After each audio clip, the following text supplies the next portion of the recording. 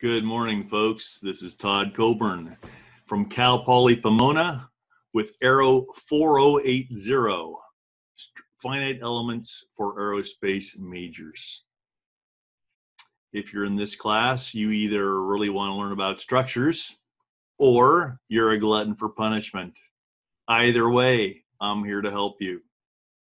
This class is going to be a lot of work prior classes you found, especially like in statics, dynamics, strength one, uh, 320, 23261, those kind of classes, especially like statics, had so many different topics. It was challenging to learn because you had so many things to learn. Even though we really only had a couple principles like equilibrium, summation of forces, free body diagrams, because those principles play out differently in different kinds of problems, it was very challenging and you need to do a lot of work in order to master the different ways that can be implemented. Dynamics also had a few more applications, but we kind of kept it simple with uh, we didn't dive really deep into the more complicated parts of dynamics. And so that may have felt a little easier for you, even though many students find it even more challenging than statics. When you got to 3261, this class has been designed to be very practical. And so you may have found that most of the methods are not as difficult. However, there are so many different things you learned that it was probably challenging. Then you get to 3271, and we start diving deeper into some of those methods and going a little further with practical analysis techniques that you'll use a lot in industry if you do any kind of structures work. That was challenging not so much because it's so difficult, because I think I put it together to make it simple and how to implement it. But once again, we had a lot of different things to learn, and the truck class kept trucking forward, which makes it challenging for students to hang on to. In this class, finite elements, this is one of the more challenging classes that you can run into, as can be composites. Once again, I'm going to keep it simple. But the, the problem, the challenge is that we're going to have a few different things we need to learn. The first thing is how, what is actually the basis of finite elements and how is that method used analytically? The best way to understand this part of the class is to actually learn to construct the stiffness matrices and to solve those in a practical fashion. Doing this by hand, even though that's not going to be done in industry, it can be used to go into higher learning where you're actually developing new methods. But most importantly, it helps you to understand the kinds of things that you do in Finite Elements and what the programs are going to be doing with the inputs that you make.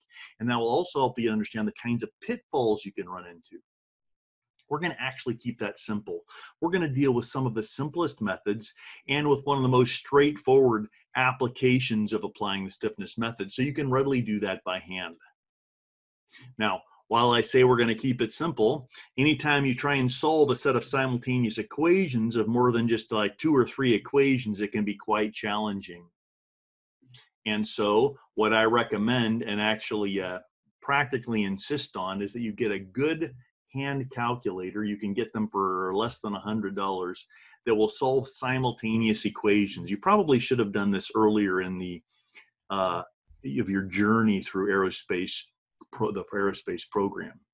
So a good program will uh, calculator will solve simultaneous equations and other things. You can use that in composites. If you take that, you can use it for finite elements. So that once you've constructed an accurate stiffness matrix and figured out your boundary condition loads and such, you can then apply the method most straightforward because we're going to be doing this by hand to understand it. And that's one piece of the course. The other piece of the course is to learn to create meaningful finite element models. Now, many programs will make the error of jumping right into FEMAP and programs like that, SolidWorks, that will easily and readily create models with lots of lots of elements, lots of equations, makes really pretty color plots, and it's really easy to get complete nonsense out of that. Now, actually using FEMAP, SolidWorks, some of those is useful and it can actually make you more powerful and make your work more efficient, make it more efficient develop models. But you need to learn the judgment of what kind of, uh, when you do the hand analysis, you're going to learn what the program actually is crunching. When you learn to create the input decks, with what kind of elements. You need to learn about what kind of elements these programs are going to create, and then how these elements are used and what the limitations and boundaries of what those elements are. So what we're going to do is first focus on Nastran. Nastran is the leader for aerospace structures, probably the leader for all finite element analysis, but it certainly is for aerospace structures. There are a lot of other programs being used. You start getting to more complicated analysis, you can get into Abaqus and some others. ANSYS is used more in non-aerospace applications, and then you can get into lower end, cheaper software. Nastran is the leader. Now, to make a Nastran model, you can do that quicker by using pre and post processors like FEMAP, Patran, and some of these other things. We're going to use FEMAP as our pre and post processor, but not until you first learn how to create a Nastran deck and get it to run effectively for simple problems. This will teach you, you're going to find out you can do this with just a series of commands in a text file to create your model and run it. And then once you've mastered some of the basic elements, then we'll dive into learning how to use FEMAP to create our models more quickly, certain kinds of models.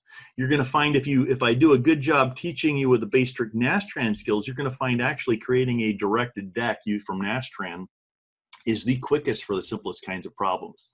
But when you have very much geometry, something like FEMAP or Patran can be much, much quicker.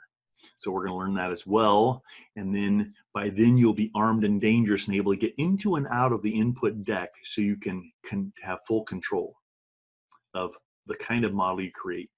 And uh, what we're going to do is, uh, so the way this class is going to run, homework is a critical element and it is required. However, because of the online content and some other things, there's some challenging challenges with correct, collecting and giving you meaningful credit for that work. So I'm actually not going to collect or score your homework this semester. Okay. What this means is uh, you're going to need the discipline to do it anyway, because if you don't do that homework, you won't you won't learn anything. Okay. All right. So you're going to do this homework, and what that will do is prepare you for the weekly quizzes and the uh, exams are going to happen every couple weeks. Okay. All right.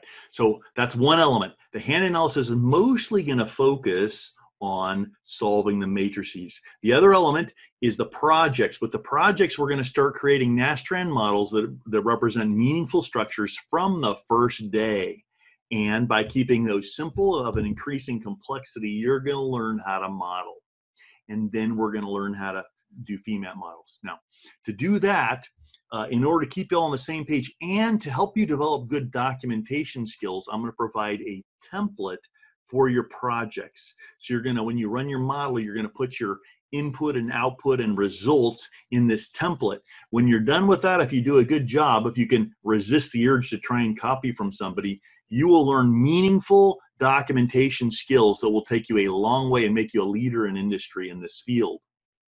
And it will also be easier for you to evaluate and debug your models. And it'll be quite impressive if you bring any of these reports to your uh, would-be employers when you go on an interview later, especially if it's for structures. Okay, so uh, there are a couple things that are, are uh, new with the online environment. With some of the programs have changed and some other things, so we may hit a couple glitches along the way. And I'll do my best to stay in front of you and to make this as easy for you as possible while still giving you meaningful hmm, problems and opportunities to learn.